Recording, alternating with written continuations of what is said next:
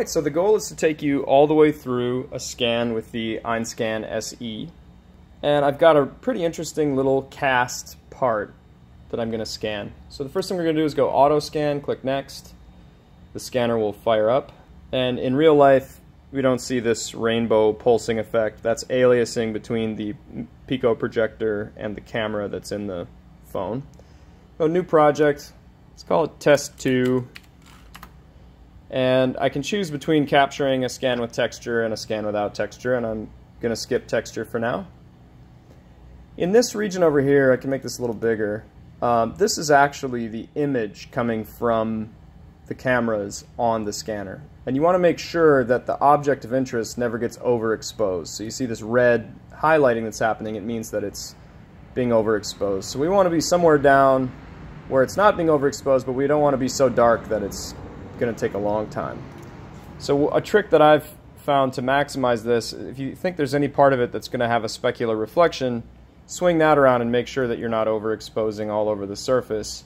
If the specular travels between rotations, you will probably be able to capture good geometry even though there is a specular. So consider that as well. A brighter exposure is generally a better exposure.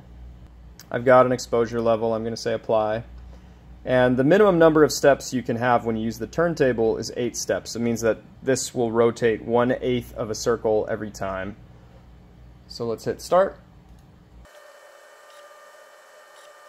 So you can see the scan data that comes out of this thing is already pretty nice, pretty clean, pretty good, very detailed. It's capturing the threads, it's capturing the, I guess you could call it pseudo knurling on the locking part of the connector. And it's also capturing that fine text on the side. Now one of the challenges that this scanner has is as it rotates the object may not be in the dead center. So the different sections as it's scanning around may not line up perfectly. When it's done capturing all the sections, it'll make an attempt at aligning them.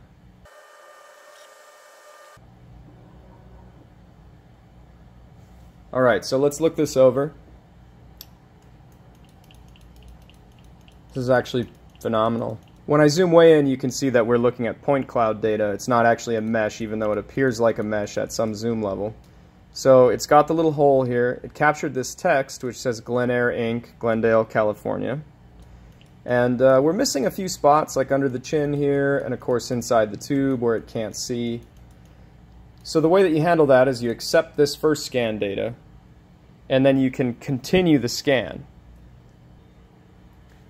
Okay, so I've placed the object in a new position. Now, I know from experience that circularly symmetric objects like this one that have lots of repeating features like threads or knurls present a challenge to the scanning engine. When it does these rotations, it has some difficulty aligning these parts. And one of the tricks that I've learned along the way is to put a small reference object nearby that will help disambiguate the different sections of the scan. So let's give that a shot.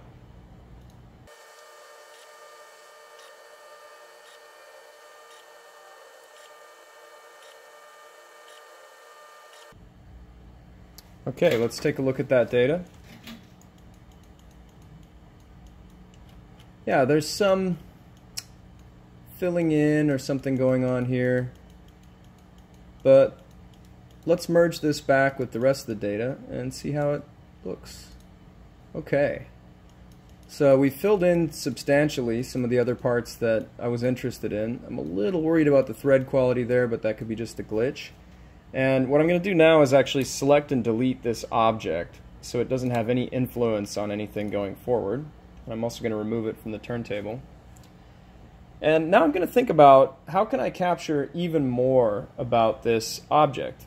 And one way would be to position it something like this, or even this. Okay, so let's take a look this is the scan with the object laying on its side. I'm not sure that this is going to contribute a lot to the final scan, and something good to keep in mind is that just because you scanned it doesn't mean you need to use it. But I think I am going to include this, so let's uh, give it a shot and see how it does with alignment. Okay, so alignment failed. So let's see if we can do a a point-to-point -point alignment. Let's say here and here and here and here and going to be tough but let's say here and here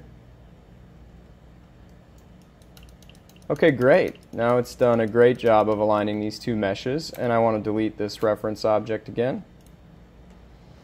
Okay, now at this point I could go on scanning for a long time, but I want this, uh, want this video to be digestible. So you can see the quality of scan that you get out of this thing. And what I'd like to do now is make this a non-watertight mesh. Now I could make this a watertight mesh, the issue being that all of these areas that are not yet scanned will fill in with junk geometry that's generated by this algorithm. So instead, I don't want to print this right away. I want to use this for reference. So let's make it a mesh. And we'll choose unwatertight model. This is 442,000 polygons. We could certainly fill holes of, you know, two millimeters or or less, or one millimeter or less even. Then let's simplify 80%. So here's the smoothed mesh, and there's the Glenair Inc. that's on the side of the original model. There are the knurls, there are the threads, my guess is that there's even more performance to be had out of this thing, but this is pretty darn good. This would be plenty to reverse engineer this thing.